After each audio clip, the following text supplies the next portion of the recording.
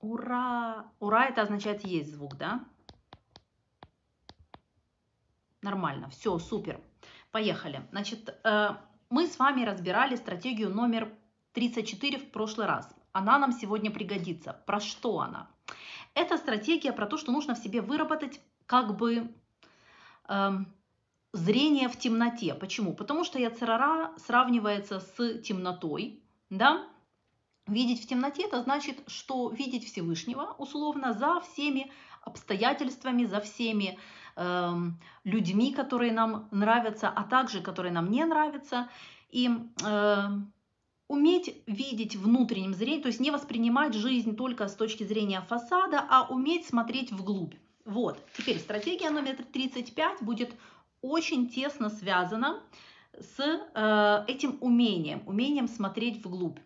Это как бы 35-я стратегия, как следующий шаг, как бы более уже эм, практичное, не знаю, применение стратегии номер 34. Итак, говорит Рабин Ахман, что есть понятие, термин, да, вы про него знаете, коронование Всевышнего, то есть как коронование короля. И эм, это называется словом малхут в иудаизме, э, мелах, царь. И Коронование короля обозначает, что мы видим во всем волю и мудрость Всевышнего. Тов. И каждый раз, когда мы это замечаем, то есть с нами происходит ситуация, например, какая-то, да каждый день с нами сотни таких ситуаций происходит, в которой, в которой нам может что-то не нравиться. Не знаю, уехал автобус, вы на него бежали и не успели. Э, кто-то обещал позвонить и не перезвонил. Какие-то новости вы ждали хорошие, а пришли какие-то, как обычно. Какая-то э, еще у вас произошла, там, не знаю, ситуация на работе, и, и еще у вас какая-то ситуация дома, а теперь вы уставшие пришли домой, а жена вам не улыбается, и, значит, плохая жена, и плохая работа, и плохой водитель автобуса, и ребенок получил двойку плохой, потому что, а если еще что-то разбил и испортил, вообще ужасный, зачем было детей заводить, и они все только портят. Значит, и кот сходил в туалет, но не туда, куда вы его приучали, и кот плохой, против вас все. Да? Теперь а, мы постоянно получаем тесты на то, чтобы уметь э, натренировать в себе э, способность видеть дальше, чем фасад, видеть то, что хорошо, все, что хорошее, все, что плохое происходит, все идет из, ровно из одного и того же источника, и это называется в иудаизме навыком коронования короля. Сильно очень важный. Эм, метафора, которую использует Рабин Ахман, он говорит о том, что Малхут – да, вот это качество, это Луна. Почему? Потому что у Луны нет собственного света, и все, что э, человек должен уметь делать, это не обладать собственным светом. А что делать? Уметь лишь отражать тот свет, который на него падает. Что обозначает не обладать собственным светом? Ведь мы как будто бы с вами все время говорим о том, что нужно светить, о том, что нужно сиять, а и родители нам это говорили всегда. Я помню, мне вот в детстве родители всегда говорили «высовывайся». Это, это слово высовывайся, высовывайся, высов... И главное, что это было настолько против моего внутреннего вообще мироощущения, мне наоборот всегда бы хотелось бы спрятаться. Но толкали в спину э, и говорили, что надо высовываться, в жизни надо высовываться и надо высовываться. И э, на самом деле говорит Рабин Ахман о том, что у нас нет ничего своего. И, и понятие Малхут это и обозначает, что у нас нет ничего своего. У нас нет своих талантов, своих сильных сторон, своего интеллекта. У нас этого нет. Это все от Всевышнего. И поэтому э, есть несколько девизов и как модно сегодня говорить, аффирмации, друзья, которые называются «нет эго» и «нет нытья». Это может показаться странным, ведь э, как это нет нытья? Э, давайте же все ныть. И нам может казаться еще, что я хотел, вот, да, вот этот голос все время внутри, но я же хотел вот так, я же хотел по-другому, ну я же хотел, я же еще как-то хотел. Значит, говорит Рабин Ахман, отставить, отставить. Второе – это нет злости. Это тоже очень сложно. Что значит нет злости? А я думал, что должно быть по-другому. А я себе это видел по-другому. А, а я видел, что кто-то как-то поступит по-другому, а поступил не так, как я думал. И теперь, конечно, я злюсь. Я же видел себе по-другому.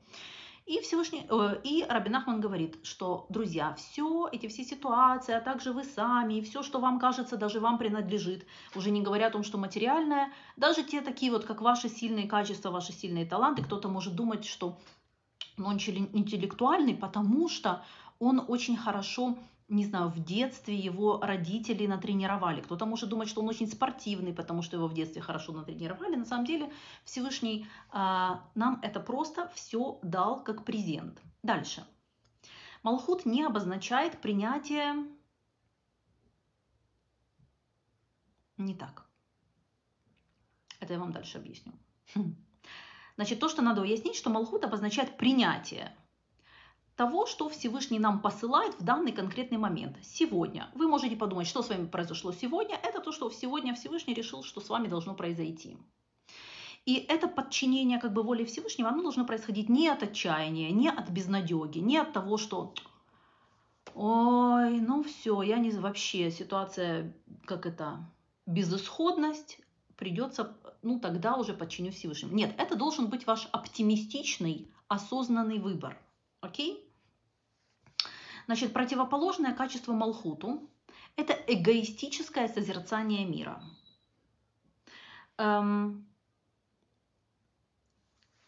что такое эгоистическое созерцание мира? Это когда любой человек, который вам встречается, любая ситуация, любые обстоятельства вами воспринимаются э, как средство возложения короны на собственную голову.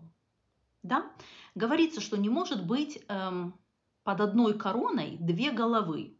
И поэтому есть постоянно, с точки зрения Раби Нахмана, эм, противоборствующие две силы. Это, с одной стороны, сам Всевышний, а с другой стороны, человеческое эго. Это как две головы, на которые нужно как-то... Некоторые люди пытаются напялить одну корону. Говорит Раби Нахман, не будет успеха. Эм, вы можете, значит,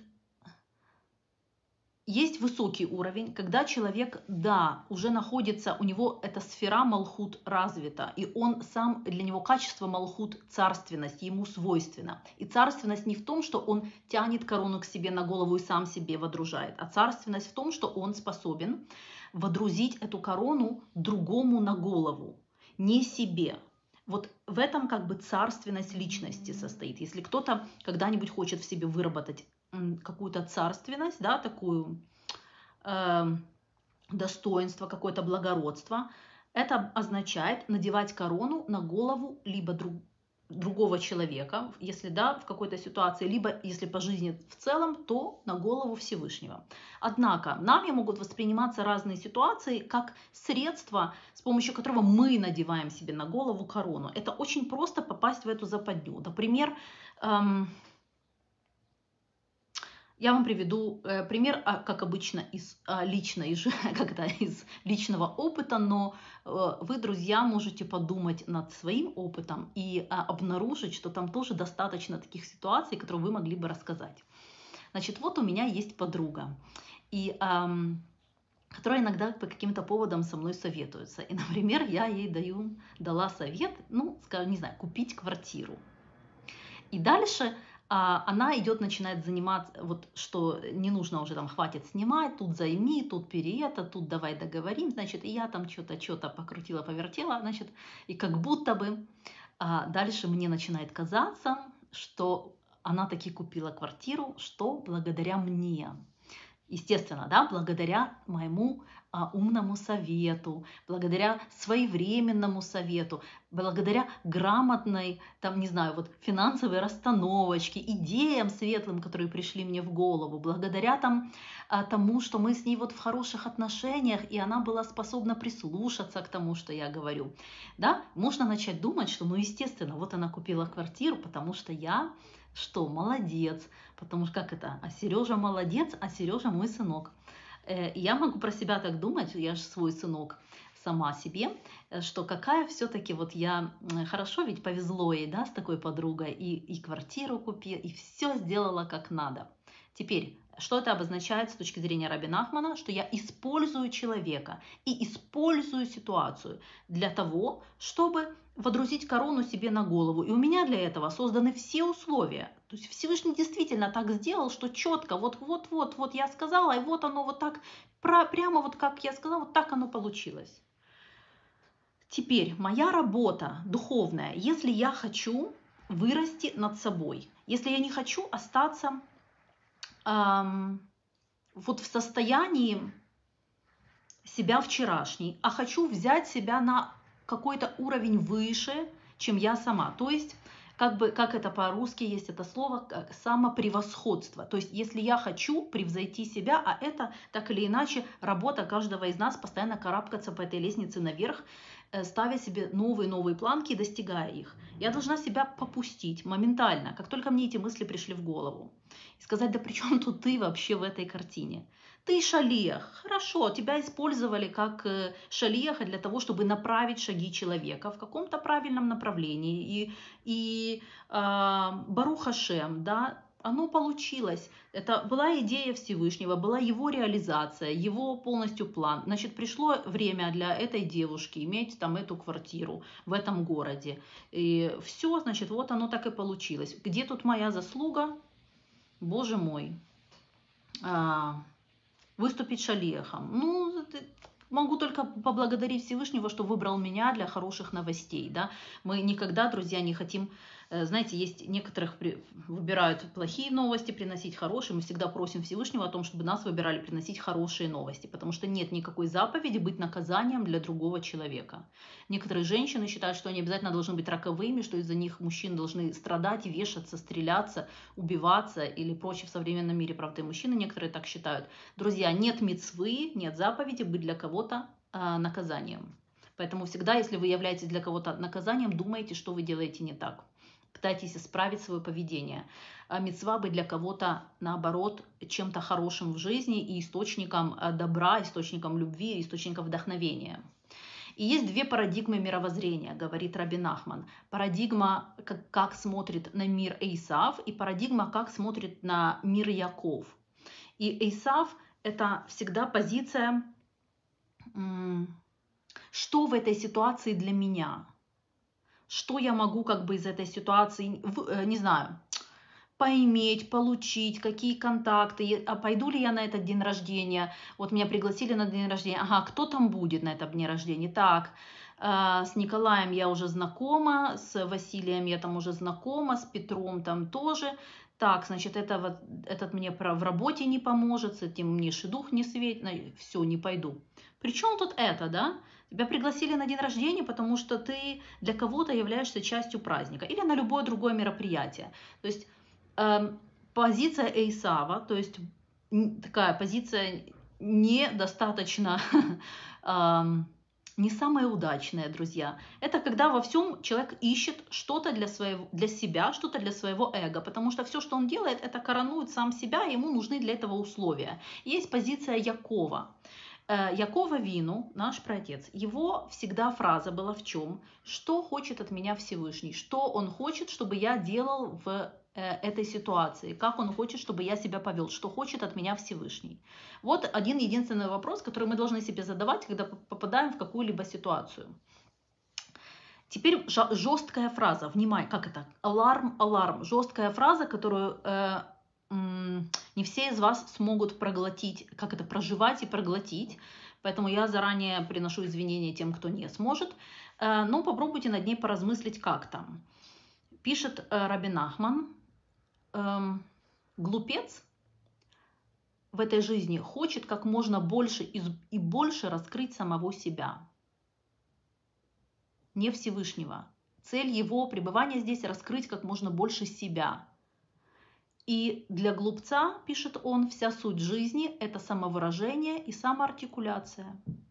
Вау, да? А как же современный мир нас постоянно учит а беги, там, не знаю, занимайся рисоватым, десятым, значит, э, вот главное там выражай себя, фотографией займись, блог наконец-то начни вести, не, э, не знаю, повышивай, это повяжи крючком, э, цельнозерновой хлеб не забудь спечь, это же все само, само, да, самовыражение, это же очень важно.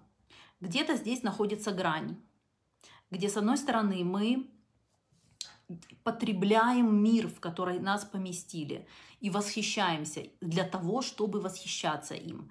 И узнаем себя для того, чтобы восхищаться собой, но что? Не собой лично восхищаться, а восхищаться мудростью и величием Всевышнего, который создал нас и поместил внутри каждого из нас, конечного, обычного такого человека, такое множество граней, такое множество талантов, такую индивидуальность. Мы ни на кого не похожи.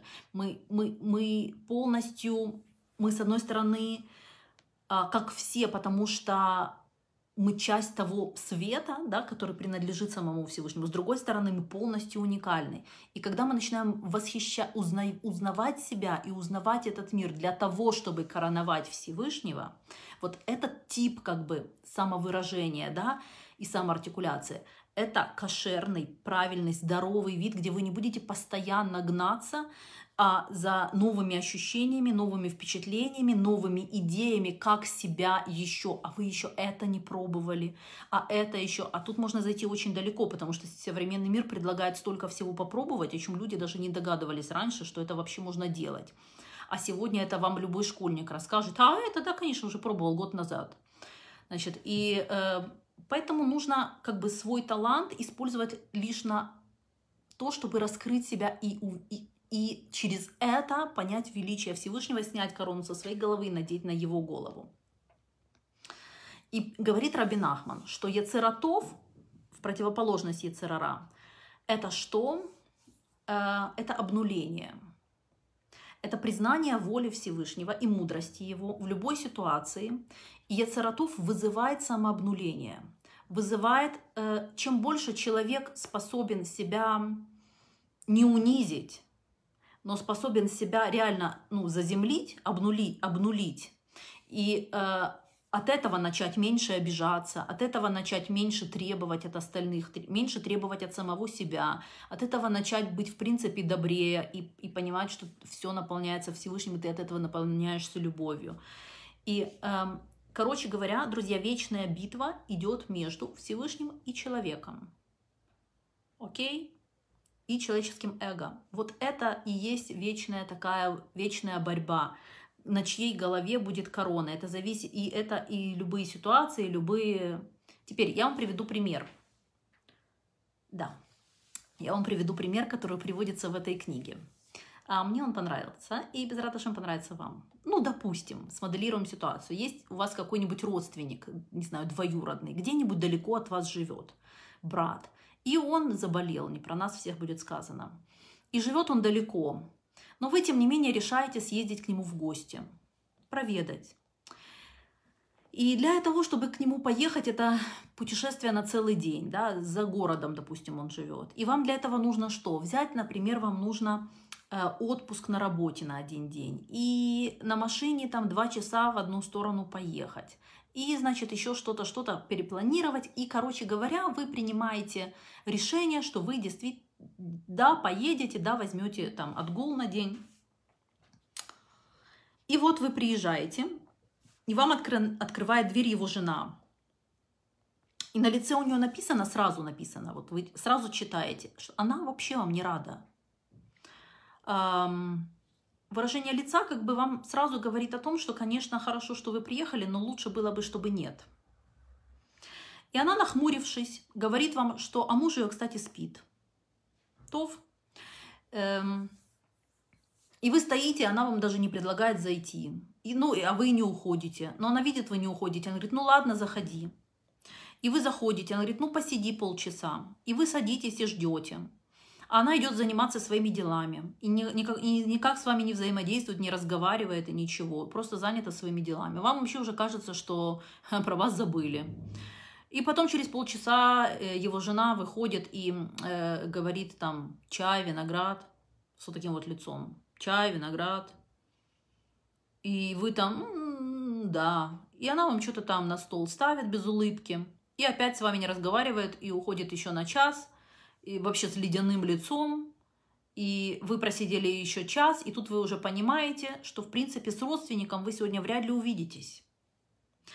И что вам нужно, наверное, ехать домой, только теперь это займет два, э, не два часа, а четыре, а, потому что час пик. И теперь вы 4 часа в машинке поедете обратно домой.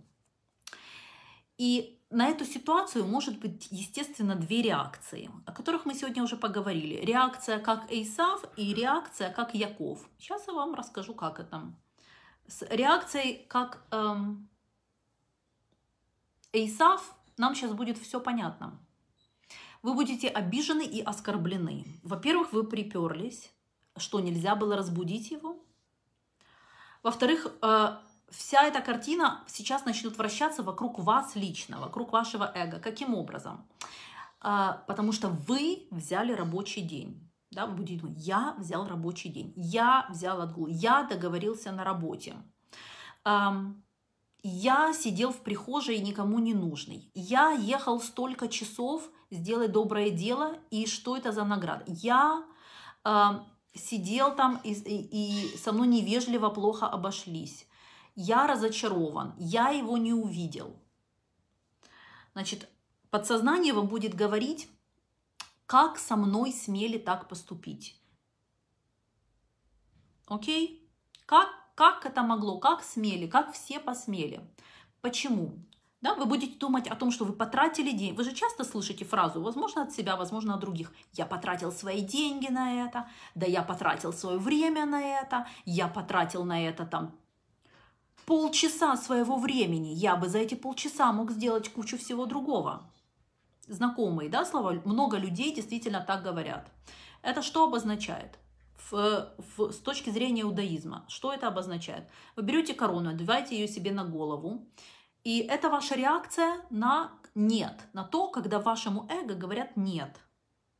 Вы начинаете раздуваться, вы начинаете, вы, когда полчаса в туалете с телефоном сидите, правильно листаете Facebook, у вас же нет мыслей, как это я полчаса потратил не на, не на какую-то продуктивную деятельность. Но не дай бог кто-то другой посягнет на эти полчаса, все, эго получает отказ, вы начинаете раздуваться как шар и говорить, что а, это мое время, это я его потратил.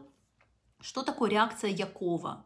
Что такое реакция, когда наше эго мы должны отнести а, на второй план? Это выглядит так. Вы можете подумать, дорогой Всевышний, я сижу здесь, в гостиной, потому что ты хочешь, чтобы я здесь сидел. И э, я хотел, ну, встретиться со своим родственником и посидеть у его кровати и поговорить с ним. Но ты решил иначе. Как это по-английски? Easy come, easy go. Ты решил иначе. И, наверное, он настолько слаб, что не может разговаривать с посетителями. А его бедная жена, бедная жена, не вот эта стервь, которая, да, как в, в мировоззрении Эйсава, это просто стерва, конченая последняя какая-то, которая, с которой вы теперь вообще ни разу ее теперь с днем рождения в жизни не поздравите. Как она вообще могла вот так вот вам не улыбаться, когда вы приехали так издалека. Вы будете думать, что его бедная жена вне себя от горя, и очень расстроена, и, и тревожна ей. Она не может ни о чем больше думать, кроме как о своем муже и о его нуждах, и о его скорейшем выздоровлении. Она там крутит у себя, наверное, это в голове. И э, вы должны дальше подумать, да, что она не может себя заставить пообщаться со мной мило. Она не может, она не может э, перестать думать о нем, скорее всего. Хорошо, значит, э, значит она не может. Это, эта история не про меня. Это история о том, что я хотел делать приятно своему там двоюродному брату. Меня вообще в этой истории нет. Я ради него, не ради себя, ради него. Но если ты решил, что он сейчас слабый, или жена его там что-то, что-то, хорошо, все беседер, все нормально. Я принимаю те условия, ту ситуацию, в которую ты меня помещаешь, и Эм, ну, я сделал усилия. Никогда не обязательно, что все наши усилия должны увенчаться успехом. И, короче говоря, несмотря на то, что вы можете быть немного разочарованы, конечно, потому что, ну, может, вам действительно хотелось его увидеть, действительно хотелось его поддержать, но вы не будете чувствовать ни опустошения, ни гнева. Потому что эта история не про вас. И когда вы об этом вспомните и вернете себя на рельсы Якова Вину, и будете реагировать как луна, не пытаться светить и сиять, а пытаться только отражать тот свет. На вас что-то упало, вы это отражаете. Ничего не упало, ничего не отражаете. Все нормально. И можно привести еще много ситуаций о том, как, особенно я вижу это здесь, в Иерусалиме, много людей здесь действительно, которых, которые работают над собой, и потом видеть, как они реагируют на разные жизненные ситуации, доставляет просто удовольствие. Вот в обществе, которое, в котором действительно такая работа и рост над собой не так приняты, ты это так часто и не увидишь. Но здесь часто можно увидеть ситуацию, я не знаю, там... Описывает Рэба Цинцепора Хеллер, они пришли, э, ее дочка старшая выходила замуж, да, и они пришли в дом к жениху, к родителям жениха.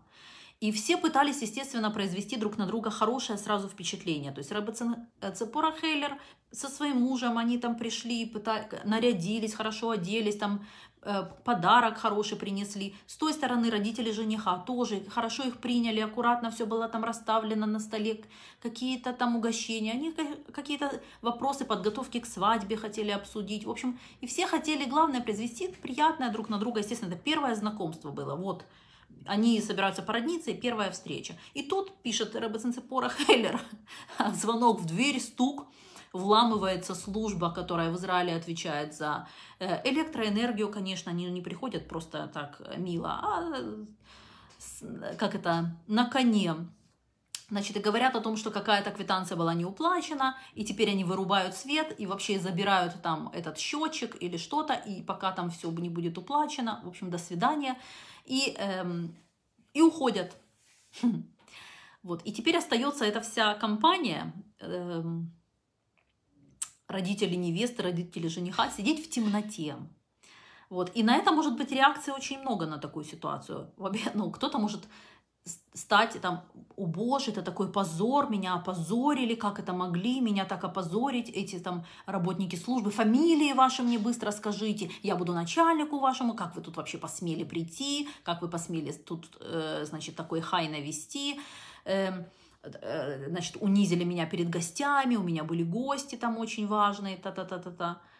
А вот, э, как это, мама этого жениха сказала, друзья, Всевышний хочет, чтобы мы сегодня посидели при свечах. Я иду за свечами, все хорошо, мы все равно пообщаемся и, и хорошо проведем время, все будет нормально. И все расслабились, и все было нормально, и зажгли свечи, и и, короче говоря, все было супер, все было хорошо.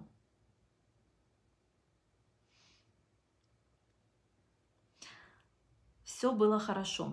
Теперь, друзья, а, план номер 35. Резюмируя все вышесказанное, будет означать вот что. Учитесь нажимать кнопку «Малхут» вместо кнопки отказа. Что такое кнопка отказа? Вы знаете, раньше были вот эти вот на компьютерах консоли, да, или там эм, на магнитофонах, когда ты хотел вставить диск, тебе нужно было нажать кнопку и э, да, ну, вставить или вытащить диск. Например, ты не хочешь слушать этот диск, ты нажимаешь кнопку reject, да, там было написано извлечь, вытащить, да, отклонить, и тебе обратно выезжает диск. И подобным образом у всех людей, абсолютно у всех людей есть такая кнопка. Называется она кнопка отказа. Как она работает? Когда что-то происходит вопреки нашей воле, мы автоматически нажимаем кнопку отказа. И если мы стоим над хрустальной вазой разбитой, которую недавно разбил наш ребенок, нажимается очень быстро кнопка отказа, и вы начинаете стартовать на ребенка. И э, когда вы приходите поздно вечером домой, видите, что ваша кухня залита водой там, на 2 сантиметра э, от пола, там стоит вода, нажимаете кнопку отказа. И, и еще может быть много каких-то событий произойти. Все, кнопочка, кнопочка отказа. Что это обозначает? Э, это кнопка, которая обычно может привести человека, если постоянно на нее нажимать, в сторону депрессии, в сторону отчаяния, в сторону того, что жизнь вообще происходит не, не так, как ты хочешь, и ведет тебя не туда, куда ты хочешь. И если вам кто-то позвонил вечером и разбудил вас уже, а вы легли спать, пожалуйста, сразу кнопку отказа, ведь ему можно наговорить кучу гадостей, да, зачем он это сделал. И пишет э, Рэббетсен о том, что что надо делать в этих ситуациях, если стоит цель э, уметь побеждать свое дурное начало, уметь расти над собой, используя любые жизненные ситуации. Не надо вам никаких курсов специальных для того, чтобы вырасти над собой. Просто используйте все то, что Всевышний сам вам дает. Значит, для начала мы используем вот это вот э, ночное видение, пытаемся увидеть Всевышнего во всем постоянно себя возвращаем на трек, что Всевышний присутствует во всем. Дальше это нас подтолкнет перестать нажимать кнопку отказа. Потому что если ты во всем видишь э, Всевышнего, и ты понимаешь, что все это им управляется, эта ситуация сейчас сконструирована для вас, что кнопку нажимать? Что это, что вы Отказ от чего? От того, что Всевышний, собственно, для вас специально приготовил. Вы сейчас нажмете отказ. Эта ситуация вас догонит в другой раз. Почему у людей часто ситуации повторяются? Нажатие кнопки отказа. Ну, ты не убежишь от того эм, тренинга, который Всевышний для тебя лично в этой жизни разработал. Вот. И тогда наступает некоторое принятие. Когда вы начинаете принимать все, что с вами происходит в данный момент, и вы э, понимаете, что отправитель этой ситуации сам Всевышний. У нас в Израиле здесь, например, когда ты получаешь посылку на почте, там написана всегда фраза, что если вы не знаете отправителя, не распечатывайте. Да? Если вы, если вы не знаете отправителя, не распечатывайте посылку. Это абсолютно на всех посылках написано.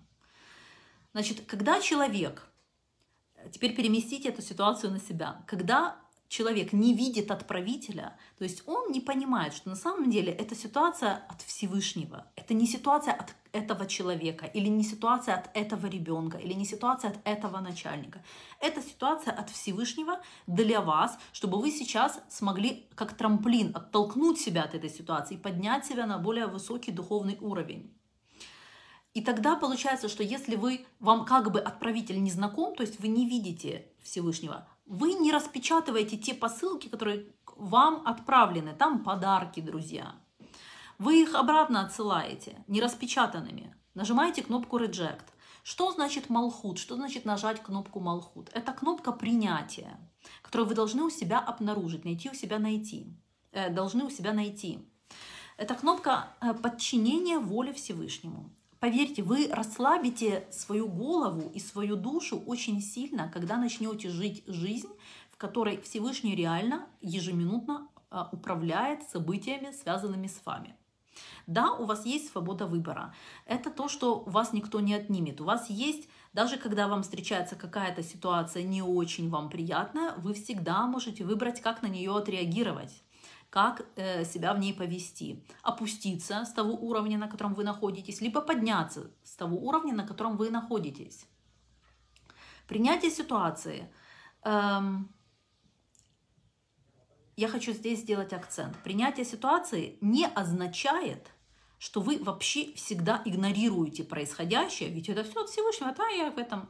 И не пытайтесь сделать никакого своего вклада в то, чтобы ситуация была улучшена. То есть ребенка нужно приучать играть в мяч не дома. Тогда ваза будет целая. Если у вас на кухне залило пол, потому что ваша, не знаю, посудомоечная машина поломалась и потекла, это обозначает, что вам нужно связаться с компанией, э, машина на гарантии, скорее всего, и, и, и э, сказать, что, пожалуйста, друзья, ваша машина, давайте ее дружно теперь начинайте ремонтировать. То есть не «О, потекла машина от Всевышнего». Да, потекла машина от Всевышнего, неприятная ситуация. Теперь я из нее выхожу с достоинством, я, я распознаю в этом Всевышнего и параллельно решаю вопрос э, с гарантией, со всеми, с, с наводнением. Да, и делаю так, чтобы компания об этом позаботилась. И тому, кто звонит вам ночью, скорее всего, не нужен с вами получасовой какой-то чат. Скорее всего, это какой-то короткий вопрос. Это не должно выглядеть как «меня разбудили». Да меня, меня, как он мог меня разбудить? Это должно выглядеть как у человека, наверное, что-то срочное, либо он не знал, что я сплю, ничего страшного, я отвечу пять минут и не обматерю его с ног до головы, а как нормальный, адекватный человек с ним вежливо поговорю. А вежливо я поговорю, потому что это то, кем я являюсь. Потому что я уже на том уровне, где я в любой ситуации разговариваю с людьми вежливо. Вот. И э,